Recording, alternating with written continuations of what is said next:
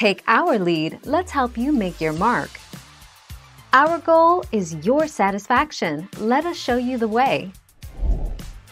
It contains a chemical called nepetalactone in its leaves and stems that can impact your cat's behavior. When cats are exposed to nepetalactone by smell, it acts as a stimulant, causing some cats to have an uptick in activity. When ingested, nepetalactone has a sedative effect. Thank you for watching. Please subscribe and hit the bell notification.